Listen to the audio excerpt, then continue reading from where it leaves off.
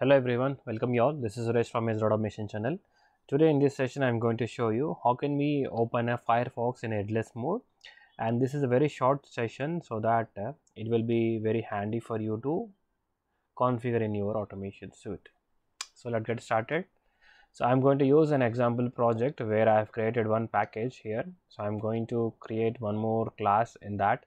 So that class is a testng class. I'm going to create create test testng class. And I don't need before after methods here so I wanted to quickly show you that piece of code. So this is saying that uh, the classes already exist. Uh, so this is a class already exists so I'll create a new class. And go to test testng create class. And this is headless.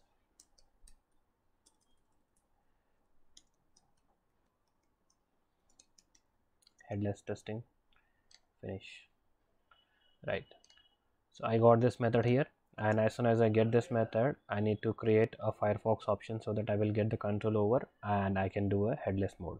So for that i'm going to write a firefox options not driver options. I'm going to create a reference object an object and firefox options. Then uh, i think end with semicolon and option dot I need to do a set headless. So you have this uh, defined method in the options. You can use that. By default it will be false. If you keep this as true that will be executed as headless mode. And after that so I will create a WebDriver uh, instance for it. So I'm going to use a WebDriver API manager where I can get the control over many browsers without using a exe file. Setup and uh, using a WebDriver WebDriver driver driver equal to new firefox driver. And i'm going to use this options in this.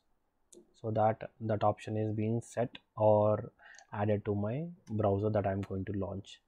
So as soon as i do that then i need to do uh, get some website. So i'm going to use website.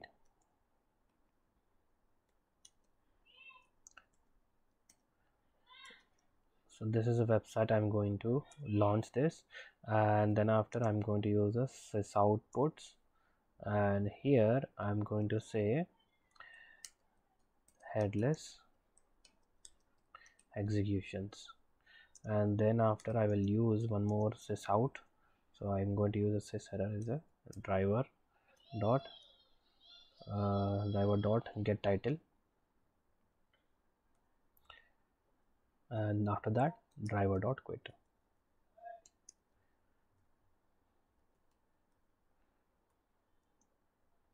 Right.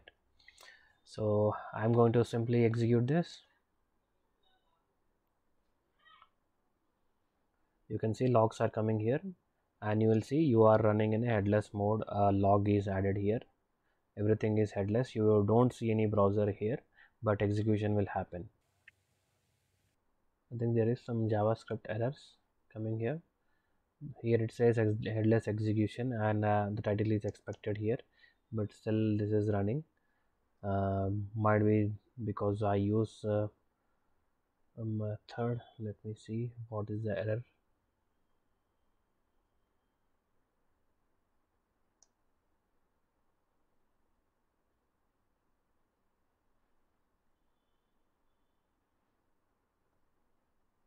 okay there is some timeout waiting for driver so that is the reason it is thrown some error.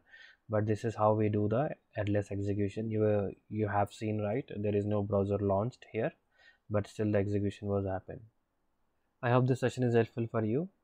In case if you are new to my channel do subscribe to my channel. Thank you for watching